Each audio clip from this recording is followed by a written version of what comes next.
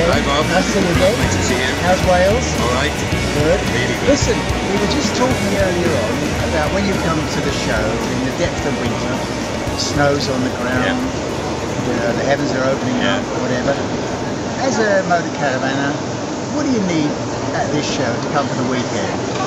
Well, most most motor caravans are self-sufficient, but they could do with some electric, water, and long as we can get gas. That's the main uh, three things that we require. Right. And So minimal, really. Yeah, yeah, that's right. Yeah. But you Yes. can be totally self-sufficient. That's right. Just drive on and Good, Yes, yeah. don't need anything. You don't need anything for that, and a good show to walk around.